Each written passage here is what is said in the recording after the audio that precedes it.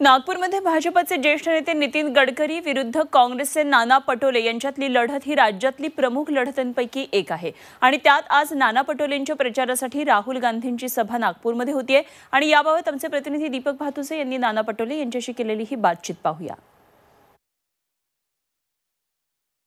नागपूरमध्ये भाजपचे ज्येष्ठ नेते आणि माजी राष्ट्रीय अध्यक्ष नितीन गडकरी यांचा मुकाबला करतायत काँग्रेसचे नाना पटोले.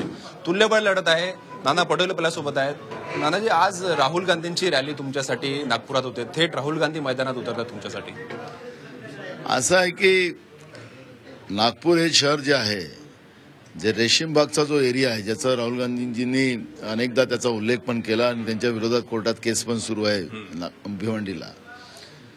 अशा या सेंटरमध्ये राहुलजीने येऊन या आर एस एसची भूमिका जनतेसमोर आणि देशापूर्व मांडायला एक चांगली संधी या ठिकाणी प्राप्त झालेली आहे. आणि गेल्या पाच वर्षामध्ये राज्य सरकार आणि केंद्र सरकारने आणि इथली जी महानगरपालिका आहे त्यांनी जसं नागपूरकरांवर जसा अत्याचार केलेला आहे फायनान्शियल अत्याचार मानसिक अत्याचार या सगळ्या अत्याचाराच्या विरोधातलं रणसिंग फुकायला या ठिकाणी राहुलजी येतात आहे त्याच्यामुळे एक मोठा संदेश जे आर एस एस जे एक देश देशप्रेम दाखवणारं आर एस एस त्याचं खरं चेहरा काय आहे ते आता नागपूरमधून देशाला आम्ही सांगणार. मी शहरातच राहिलेलो आहो. माझं शिक्षण शहरामध्ये झालं. त्याच्यामुळे शहरातल्या याच्याने मी अपरिचित असं नाही. पण आता जेव्हा मी जवळून हे सगळं दृश्य बघतो आहे आणि यांचा खरा चेहरा गडकरी आणि फडणवीस आणि भाजपचा जेव्हा पाहतो आहे शहरी शहरी चेहरा तो ग्रामीणपेक्षाही भयावह आहे.